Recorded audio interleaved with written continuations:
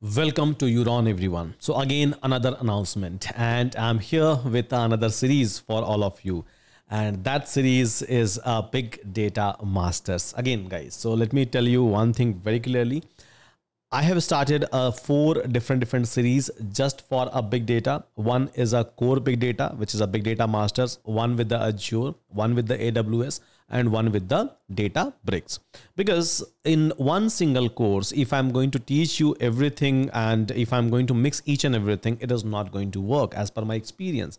Now keeping that in mind i have divided this entire big data as this big data is very very huge and i have to talk about each and everything in depth. Now keeping that in mind so these are the four different different courses i have published four different different series i am going to bring for all of you. The very first one is basically a big data masters, which is going to start from 5th of June in English language.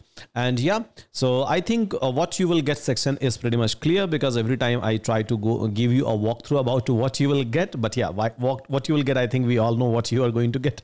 And uh, this pattern is like uh, same for all of us, right? So courses will be released on every Monday. You are going to get a WhatsApp group access, URI certifications, Avni quiz, assignments, handwritten notes, code, everything, everything, right? So I don't think that uh, that's a, uh, even a question now now let's talk about little bit about the course content because we have already published a course content. It's publicly available.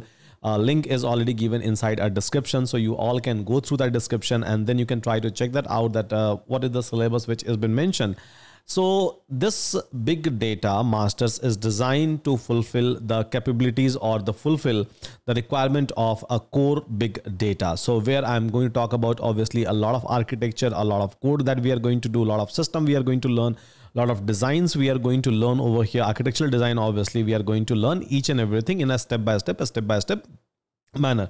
So please go through our syllabus guys and let me know if i'm missing anything. I'll make sure that uh, that i'm going to mention those things if i'm missing inside your syllabus so that all of you will be able to learn in a best best possible way. So with that guys thank you so much and uh, see you again in my next video